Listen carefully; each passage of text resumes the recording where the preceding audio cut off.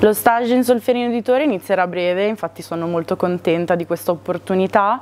Eh, questa opportunità è nata in aula sia da una mia passione pregressa per il mondo della letteratura e dell'editoria, ma anche grazie ad un project work che abbiamo realizzato proprio in collaborazione con la casa editrice per il lancio di un nuovo romanzo eh, per ragazzi.